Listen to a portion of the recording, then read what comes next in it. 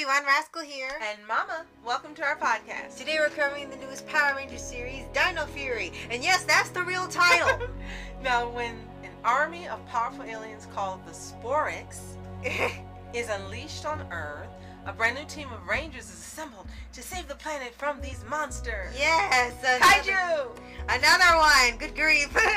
and before we start, be sure to like, subscribe, and click notification bell if there's a future podcast and want to pause videos. Yes. And as before with the last Power Rangers podcast, we are covering this because of recommendation from Playmakers. Yes. so this one we actually got to watch on Netflix. We understand that it originally aired on Nickelodeon from February through December of 2021, but we were able to watch it at our own pace on Netflix. Yes. And they had about 22 episodes on there. And they started off, of course, with the multi-part uh, opener, with them showing the Rangers, how they get their powers, setting up the villain and the plot of the story, and it ends with a oddly timed holiday episode near fall. Which really seemed to be made for fans. Yes. Like a, definitely a fan episode. Yes. So when we saw this, the only other series we had seen for Power Rangers would be the RPM series. So we didn't know what to expect with this one, but now knowing that each one is pretty much its own story, we don't have to worry about being caught up with all the other series or anything. But we do understand that this particular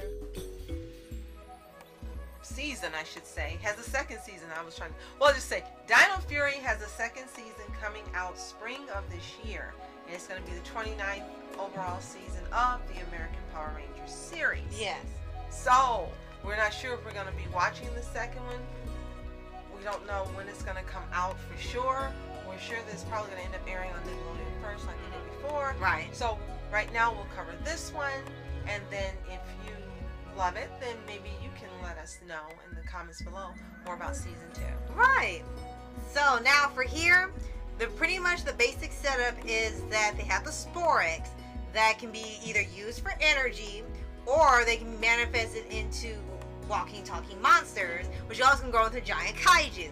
If you defeat them, they turn back into little Sporix um, little things, little spork balls things that they have in there. And basically have to capture all the sporix so that way the earth won't be infested with these monsters or evil energy and they can get it back to another planet. And then they have the uh, villain in here who wants to use the Sporix, and you don't find out why he specifically wants it until like a little further in. And I can tell you, I did see that coming because this type of plot has been done before.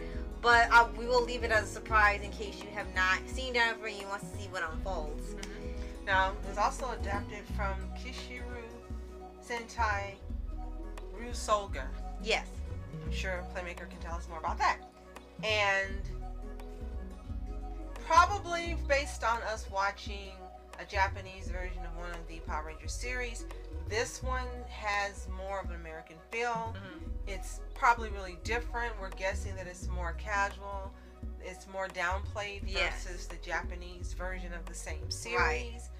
But we can say that there were lots of parts that we really enjoyed, mm-hmm. and that there were, for me, I really liked the transformation sequence. I thought it was yes. pretty cool with the music and the images and everything.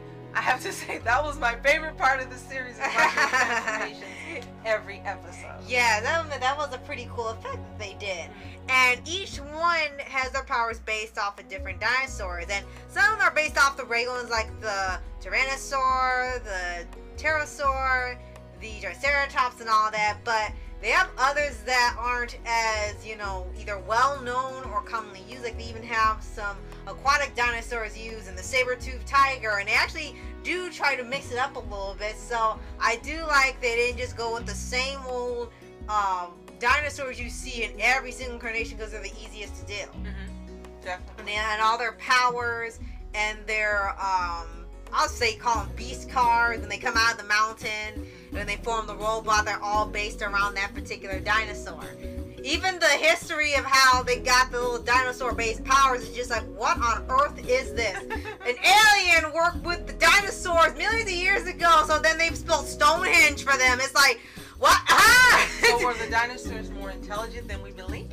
I don't know anymore. and that was part of the sequence too. That I thought, to me, it was pretty comical when they would burst out of the mountains.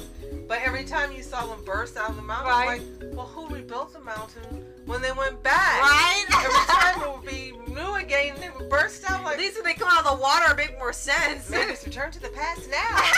and it. So they have a cast, as you mentioned. We have all the colors. We have Russell Curry, who was Zayto, the Red Ranger. Kai Moya, Ollie Akana, the Blue Ranger. Hunter Deno was Amelia Jones, uh, the Pink Ranger.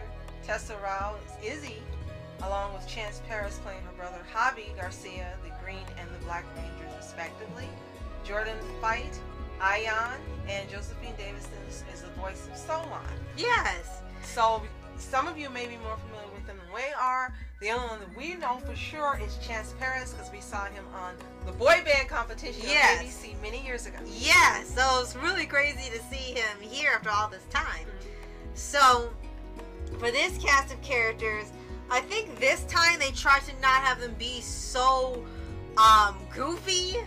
Because you can watch them the oldest series and see it's really campy and silly. I think this time around they're trying not to have it be so campy. It still is, but you can tell they're trying to make it, you know, be taken seriously in terms of a story and an Americanized version of it, which is okay. But there were some points in there, like when they have the woman and her robot assistant do some weird things, or when they have the special effects of lightning and everything, and they're playing sports and all that, and it's always just really, really out there. But I think they're trying to have now the feeling of like a Saturday morning cartoon where it's just something fun and you relax to and watch for the. And I have, of course, watch for the action of uh, on the weekends too. hmm And the fighting sequences that were done, of course, by the Japanese cast, very well choreographed. It was really well done. You liked some of the imagination they had and some of the transformations and the weapons they used. One thing that I was real confused about, and we had to ask Playmaker, is in the second to the last episode, they lost the ability to transform and they lost their costumes and everything. Yeah.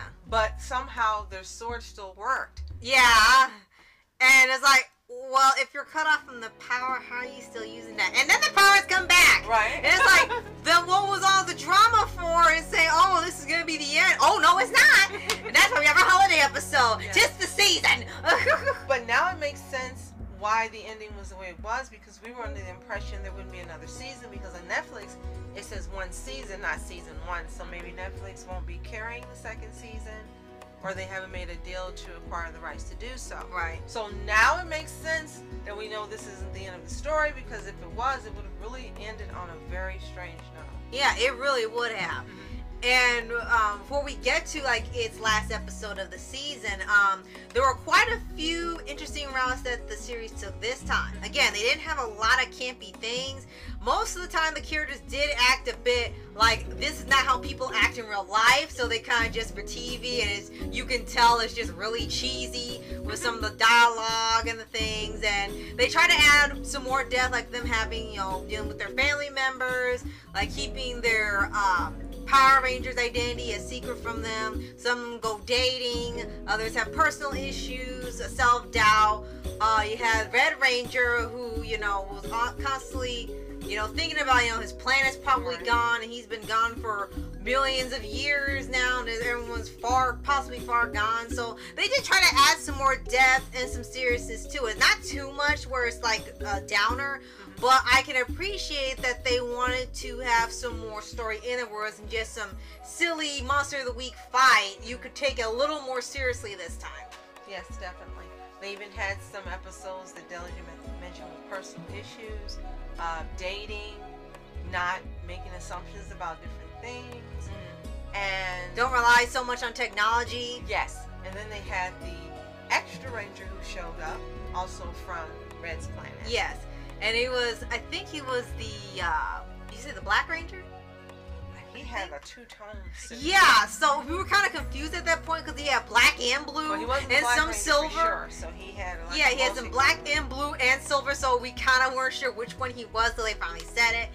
And for him, his thing was sort of getting used to Earth and Earth customs and things, but they didn't really go all the way with you know him mistaking the simplest things as something extraordinary and all that. So they really didn't go with that uh, trope. Surprisingly, the most he did is that he did know what who Santa Claus was, and that was about it. And you know, and he liked ice cream. They really kept it simple, which was great. So they, they made sure not to overcomplicate and try to try too hard to make that uh, joke funny. Definitely. Now, the last episode, as we mentioned, was a holiday episode. It really was sweet because to me, again, it was like a thank you to the fans. Yes. And to me, this episode is the one they put the most work and thought into for this series because yes. it was perfect in the sense that it had it didn't have any action, but it built on each team member knowing each other. They were giving gifts, Mm. and Black Ranger didn't know what to give for so long. hmm And so they were going over the gifts that each ranger had and what they were giving each person. And then with each gift and the person was giving it, they would have a flashback onto how they probably chose it or why they probably chose it. And then, of course, as you mentioned, some of them met Santa Claus, and he was trying to tell him, you know, well, this is the way you pick gift, and it's always like this, and so forth. But again, there was so much thought put into it, Right. and it was like a little flashback episode. Not too much flashback, but it also talked about um, morals and about how you treat others, and not taking them for granted. And putting thought into the things you do for people. Again, it was the most thoughtful episode of the entire Exactly. series. Yeah, it was it was so it was so strange to see that, and it was it taking actually a, a breather was really nice. It had a sort of like how MHA has, where it's slightly filler, calming down episode where, and it's not like oh this is just made to fill in a slot because they didn't have enough room for episodes or they just want to make something silly. They made something very endearing and it fit with the time of the season when it came out. And uh, Santa Claus exists in this universe, but the whole thing didn't center around oh having to say Christmas or helping Santa. And Santa just is known. I th- kind of thought he was just like the mall Santa like they always have, but no, he's real. He's there and they're okay with it. They acknowledge it, and he just they just talk to him like he's just an old friend, which I guess he is. But it was just like no one is like talking about this and questioning. Oh, Santa's really here. That they, they, they he's just real, pretty much that's pretty much it. Santa is just normal and known in this universe. and it's a great episode. And it's a different way of seeing Santa. I haven't seen it on anything else we've watched. yeah. So if you've seen Power Rangers Dino Fury, let us know what you think in the comments below. Are you an original Power Rangers fan? Was this your first series such as I it was our first series? Let us know in the comments. If you haven't seen it, it's available on Netflix to watch, 22 seasons. Yes. Give it a watch, come back, let us know what you think as well. Yes. And be sure to like, subscribe, and click the notification bell to get updates on podcasts and Moto Pause videos. Yes, and visit Playmaker's channel. He is the resident Rascal Family Power Rangers expert and lover. Yes. So, thank you so much for watching. I'm Rascal Entertainment. And I'm Mom Entertainment. Have a toontastic day. Peace.